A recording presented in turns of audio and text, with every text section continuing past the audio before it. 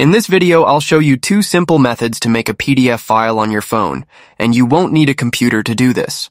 The thing which we'll need is the Google Drive application, so go and download the app if you don't have it already installed on your phone. I've opened Google Drive, and now make sure that you're logged into your Google account.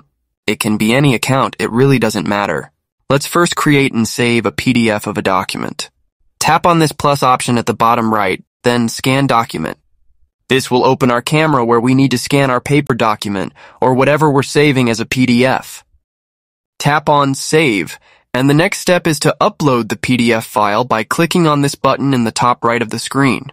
Our file has a PDF extension, and that is just what we need. When the file uploads to our Google Drive, simply open it, and if you need to download this to your phone, click on the three dots at the top right, which will then open this menu with a bunch of options. You will have this download option, and that's going to allow us to save this PDF file to our phone. But if you need to convert a photo from your photo gallery into a PDF file, you can easily do that also. Click the plus option one more time, then select the upload file right here. Select photos and videos, and that will open the camera roll on our phone where our job is to select a photo which we want to convert to a PDF file. After my photo is uploaded, you see that it has a HEIC format, so in order to make this PDF, open the photo. Select the three dots one more time.